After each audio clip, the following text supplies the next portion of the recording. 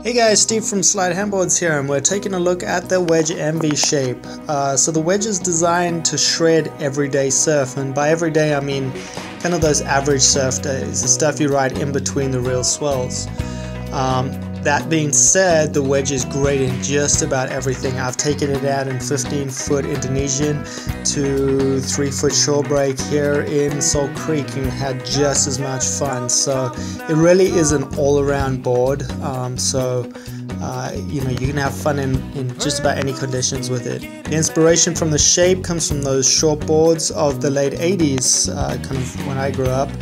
Um, with the swallowtails, distinct double hard wings that not only allow for points of water release but at the back but also help to prevent spray back. You know how annoying that is. You're riding a wave and you can't see anything in your way. Uh, the board is just absolutely beautiful. Graphics are insane. I love the green on this board.